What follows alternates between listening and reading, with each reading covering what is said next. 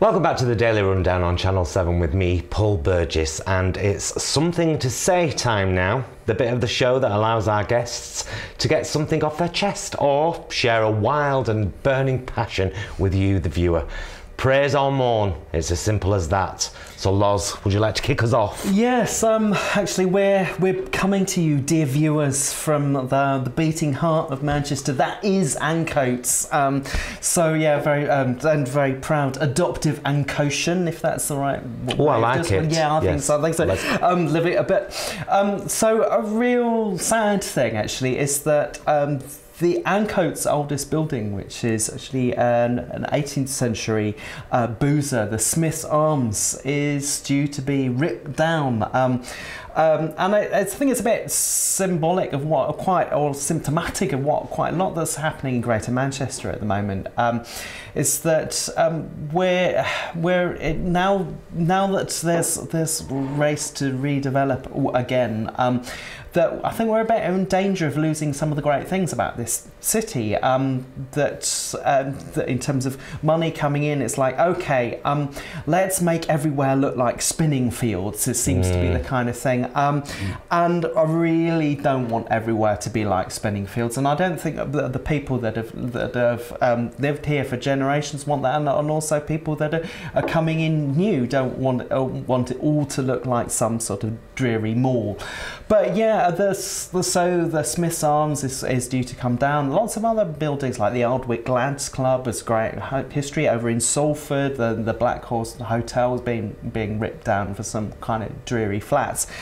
Now it's not that I'm against people having places to live, and we were already talked about this today on the, the show. And the but the question is is that um, how do you do that and still make uh, how do you do that and still make us a city where you want you want to be? Um, and it's you it's not just about having a flat; it's also about having places to go, places places to feel at home, places where you can meet, um, you know, schools and where your, your kids can go and be. So um, I think it's really important that also for to keep people in also in the centre of town that you want to have some spirit to. Um, I think one of the big problems for, for Manchester is that people come in maybe for a couple of years, but also find, well, yeah, but it's also getting maybe a, it's also a little bit kind of dreary now, so we're going to go again. So it's also about how you build up community. Um, the in Great Greater Manchester is now seeing this kind of investment, um, but it's also a lot that's being ripped out. Again, what's happened to Ancoats is that so there's been good places like the estates, like Cardroom Estate, has been has kind of ripped out now. And I think a lot of people who live there are not entirely nos- completely nostalgic about it. Yeah, the Cardroom Estate had its problems. Um, However, a lot of uh, that's really close to where we are right now. That's been completely flattened. But also then a new um, investment group coming is called Manchester Life. But actually, where the money is coming from is Abu, is Abu Dhabi Investment. Um, so I think it's kind of really interesting that also the the, the council's made this deal with um, with uh, also um, investment which has links to Emiratis, which are not necessarily the kind of the the nice the you know the nicest of regimes exactly. So you kind of also ask, what else, I, I can't what I don't quite get is uh, is that where where the where the Labour Council is on all, all of this as well is that kind of is that on one hand we seem to be taking on the on the kind of all the whole Labour Labour leadership thing that we've got. Um, uh, you know, all the all this this talk about integrity and people like Corbyn, but actually on the lo- on the local level, we're seeing these kind of these kind of um, deals. We, we've yeah, we've already used the word dodgy today. I think you introduced that, David. But it's like uh, yeah, it's the, the yeah, we're- it's it's also a li- well, I'll just say questionable.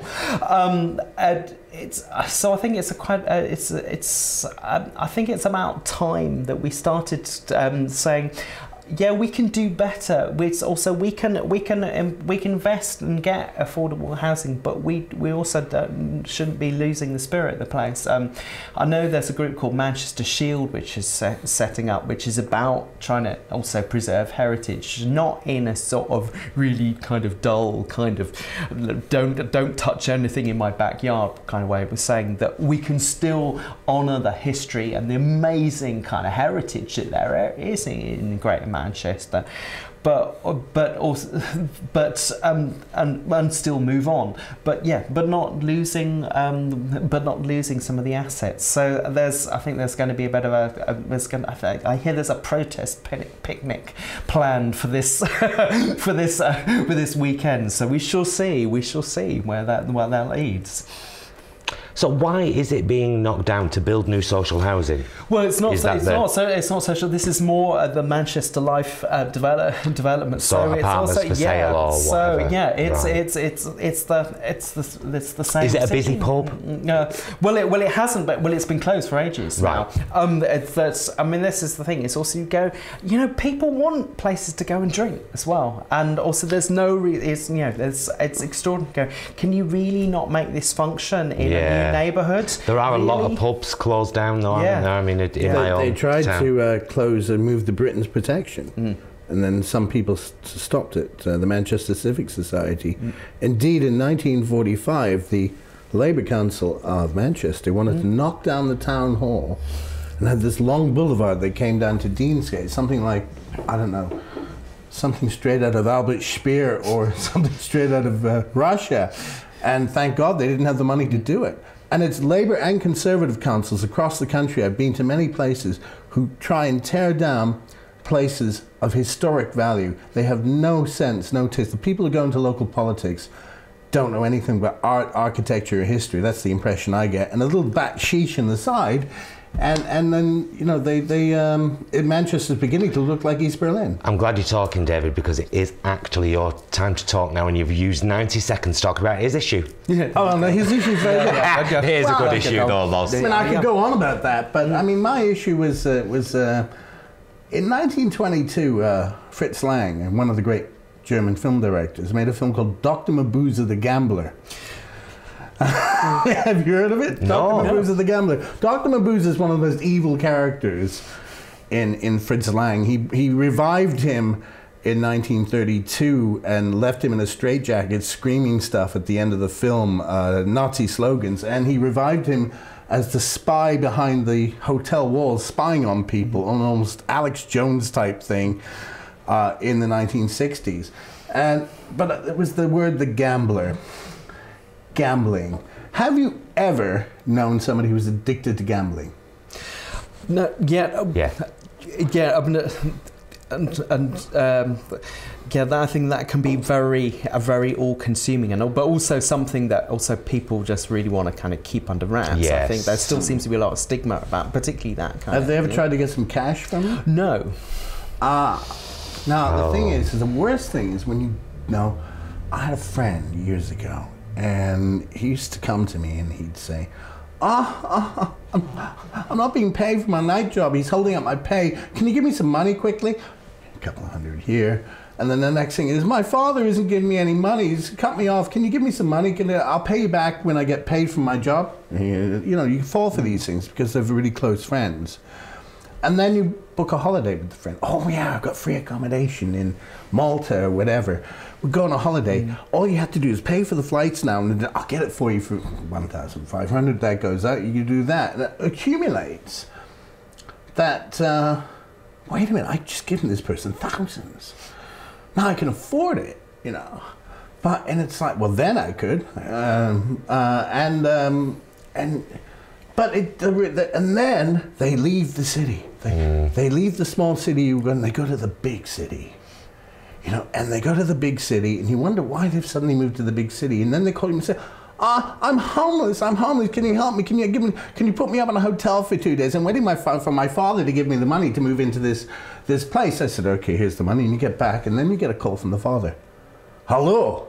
I said, "What? You haven't given any money to my son, have you?" I said, uh, why? He's addicted to gambling. And you drop. and you drop and you go, I trusted that guy mm. and I've just given him thousands, but he's my mate.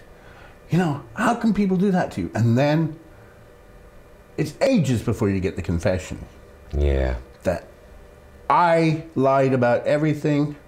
That money you gave me to invest in that thing, I could get it back, was a lie. That trip I took there, which you lent me to for Christmas, that was a lie. Everything was a lie. I went to the casino and gambled the whole thing. But I'll pay you back. That's the next step. Then they can pay you back. Yeah, 200 a month, okay? Where's the money? Uh, uh, um, um, uh, um, 200. You don't get a penny back. Yeah. So the lesson for that is as much as you trust anyone, or like anyone, or feel sorry for anyone, don't give them one penny without some sort of guarantee or getting a ton of references from friends. When you know somebody, you know them well, but you don't know them on a personal basis, and to find out that they're addicted to these, these people addicted to gambling. If I say, Loz, yeah, yeah, I'll pay you 400 a month. Yeah, yeah, yeah. They think they've solved the problem. They don't have the money to give you, but they think in, their heads it's, it's settled. And then you come back, oh yeah, yeah, yeah, I'll give you the money, and, and that, that's that's a real problem. Of course, you end up having to take these people to court or whatever. But I mean, um, never do that. Never give money to any friends, even, because um, I mean, this gambling addiction's a horrible thing. Absolutely. But they all play the victim card. yeah. They all play like they're a victim of society. I, I mean, I have a family member who owes me about 20 grand and plays the victim card too. So I'm never going to get my money, right? For Because they play the victim card. Oh, I have a miserable life. What about my money?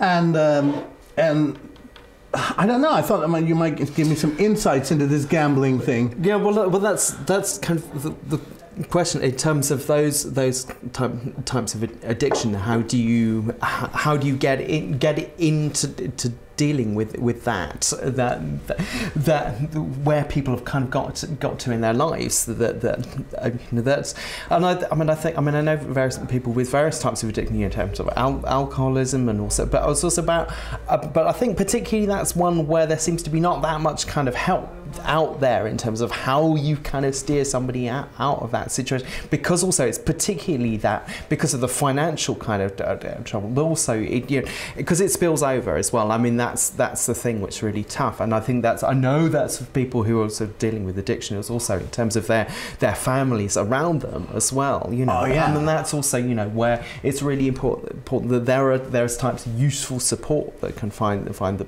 the, the find the way way out. I mean, it's more people that I know who've, so, who've also uh, uh, suffered with alcoholism, but also their families have, have suffered. You know, Yeah. very, Yeah, well, it never just badly. affects you, does it? Yeah. but, but I mean, yes, this guy, badly, this you know, guy this guy- actually, I had tons of other people he owed money to too. Yeah.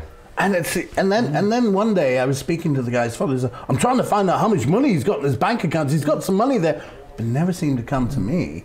And it's like, and then why do they have to flee a city?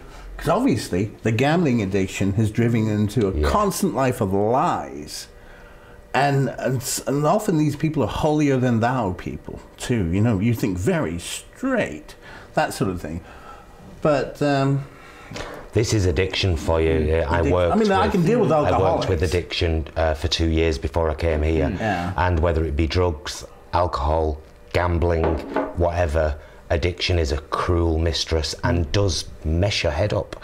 And uh, people lying is is a whole part of the making not only making you feel secure in the loaning of the money making themselves feel better about doing it because they can they can convince themselves that's the truth I've said. But I wasn't the only victim. No, no. There were tons of victims. Dozens of them. And it's amazing. I think they've got this. It'd make a great movie, wouldn't mm. it? Yeah. Like Robert Walker in Strangers on a Train, a character like that. The charming.